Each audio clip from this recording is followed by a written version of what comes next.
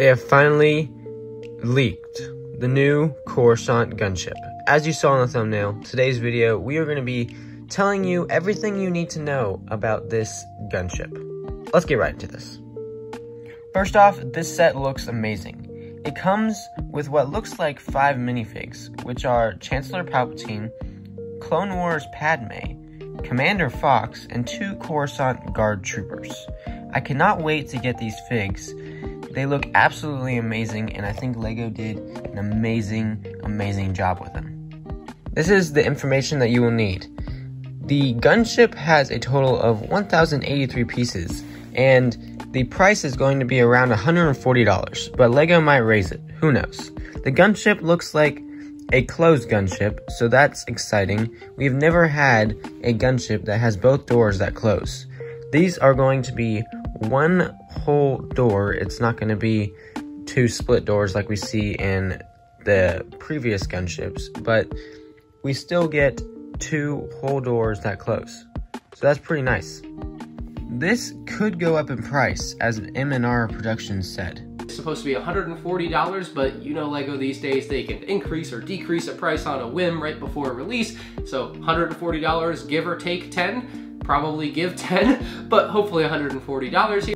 This banger of a set will release on September 1st, but it will be able to be pre-ordered within the next one or two weeks. So look on the LEGO website for that like every single day for the next two weeks. It's going to come out. We're going to get official leaked photos. It's going to be amazing. We're going to see all the figs. We're going to see the price. We're going to see everything. It's going to be freaking awesome. The one stupid thing about this new Coruscant gunship is going to be it's a little smaller than the gunships that we've gotten in the past. For example, the ATTE, when it came out back in like 2007 or 2008, I don't know, I don't remember, but it was really big. It was pretty decently sized. But when they re-released it as the new ATTE that came out last year, it was significantly smaller than the old one. So that kind of sucks. The ATTE also bumped up like 10 or $12 before it came out and when it came out. So it was definitely an overpriced thing. It was But yeah, Hopefully they don't do that to the new Coruscant gunship. The design on this set is freaking awesome. The only problem that we have is going to be the top handle thing. It looks a bit bulky. It's not as smooth as the other one and maybe as more sturdier than the previous ones, but yeah, it just, it's really bulky.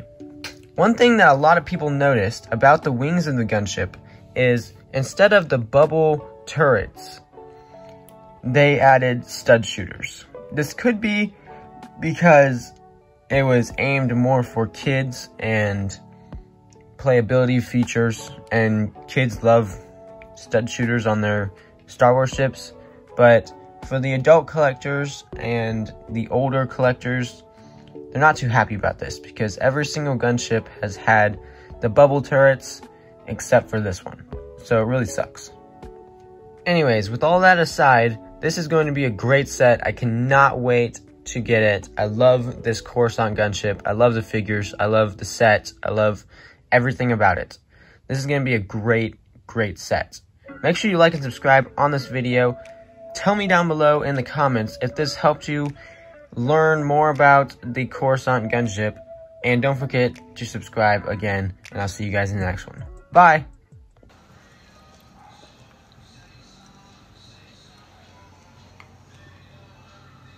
Oh my gosh. Uh, what do I do?